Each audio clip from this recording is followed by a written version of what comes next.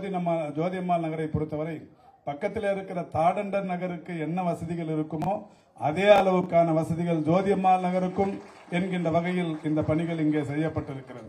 எனவே இந்த ஆட்சி என்பது எல்லோருக்கும் எல்லாம் என்று மாண்புமிகு தமிழ்நாட்டின் முதலமைச்சர் அவர்கள் அடிக்கடி சொல்வார்களே அந்த மாதிரியான ஆட்சியாக இது இருந்து கொண்டிருக்கிறது என்பதற்கு இந்த ஜோதியம்மாள் நகர் ஒரு உதாரணமாகவே இருந்து கொண்டிருக்கிறது. கடந்த ஒரு மாதத்திற்கு முன்னால் ஜோதியம்மாள் நகரில் இருந்து ஒரு பத்து பதினைந்து சிறுவர்கள் என்னை தேடி வீட்டிற்கு வந்தார்கள்.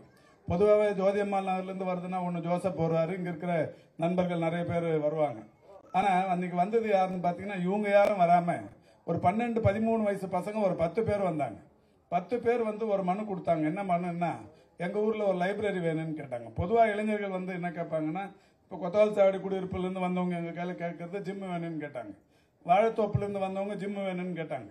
கழிக்குண்டத்துலேருந்து வந்து கேட்டவங்க ஜிம் வேணும்னு கேட்டாங்க.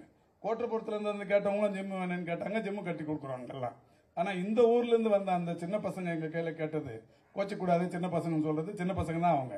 பன்னெண்டு பதிமூணு வயசு. தான் வந்து எங்களுக்கு ஒரு லைப்ரரி வேணும்னு கேட்டாங்க. உண்மையிலேயே ஆச்சரியமா இருந்தது. இது இந்த இங்க வந்திருக்கிற எவ்வளவு பெரியவர்கள் இருக்கீங்க ஊர் பெரியவர்கள் இருக்கீங்க. உங்களுக்கு யாருக்குமே அந்த எண்ணம் வரல. அந்த சின்ன குழந்தைங்களுக்கு வந்து எங்களுக்கு லைப்ரரி வேணும்னாங்க. உண்மையிலேயே போன வருஷம் ஃபண்டை பொறுத்த வரைக்கும் கொஞ்சம் கஷ்டமான சூழ்நிலை தான் இதே வட்டத்தில் ஒரு மூணே முக்கால் கோடியில் அரசு நந்தனம் கலைக்கல்லூரிக்கு ஒரு கலையரங்கம் கட்டி கொண்டிருக்கிறோம். ஏராளமான பணிகள். நண்பர் மகேஷ்குமாரே இந்த வட்டத்துக்கு ரெண்டு மூணு ஃபண்டு வாங்கிட்டார் எம்எல்ஏ ஃபண்டை ஆனாலும் கூட இது கூடு ரேஷன் கடை இதெல்லாம் வாங்கிட்டாரு. இருந்தாலும் இங்கேயும் ரேஷன் கடைக்கு ஃபண்டு கொடுத்துருக்குறோம் முப்பது லட்ச ரூபா கொடுத்துருக்குறோம். அப்போ இருந்தாலும் கூட இந்த குழந்தைங்க வந்து கேட்டதுக்கு அப்புறம் என்னால் அது வேற எங்கேயாவது எதையாவது தடுத்தாவது இங்கே கொடுத்தாகணும் அப்படிங்கிற மாதிரி சொல்லி உடனடியாக முப்பது லட்ச ரூபாய் அதுக்கு கொடுத்து அந்த லைப்ரரியை கட்ட சொல்லியிருக்கிறோம். இப்போ கேட்டோம் கான்ட்ராக்டர் எவ்வளோ நாளில் அது கட்டி முடிப்பீங்கன்னு கேட்டோம். மூணு மாதத்தில் கட்டி முடிப்போம்னு சொல்லியிருக்கிறாங்க. இப்போ நான் இந்த பசங்க வந்து என்னை கேட்டதுக்கு அப்புறமா எனக்கு வர்ற புக்கை நான் யாருக்கும் தரதில்லை ஏற்கனவே எனக்கு வந்த புக்கெல்லாம் மேயர் கையில் எடுத்துகிட்டு போய் ஐயாயிரத்தி எழுநூ எழுநூற்றி ஐம்பது புக்கை கொடுத்துட்டு வந்துட்டேன். இன்னொரு தடவை ஒரு மூவாயிரம் புக்கு விழுப்புரம் அன்னியூரில் எடுத்துகிட்டு போய் கொடுத்துட்டு வந்துட்டேன்.